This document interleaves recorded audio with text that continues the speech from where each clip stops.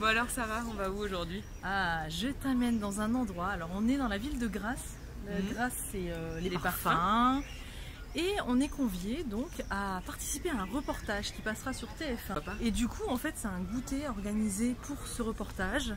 Et, euh, et c'est Jérôme de Oliveira qui prépare ce goûter euh, sur le thème du parfum. J'ai pas mangé à midi. Ah, t'as pas mangé On va exprès se régaler Moi, j'ai pas pris 4 heures.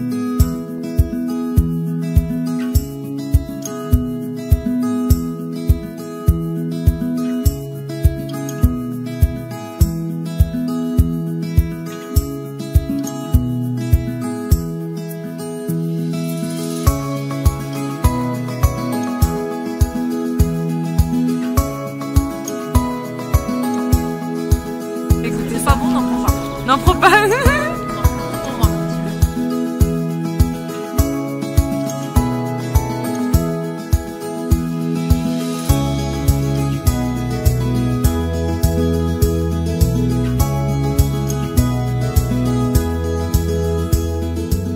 Vous avez en vient de l'accueillir, il n'y a même pas une heure, vous allez avoir ce goût vert, Mhm. cette verdure, cette- la sève, c'est le sang de la plante.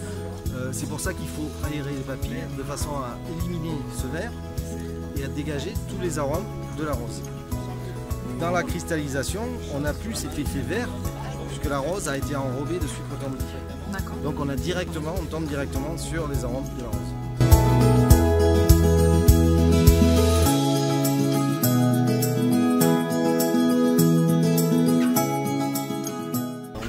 De faire euh, beau, bon.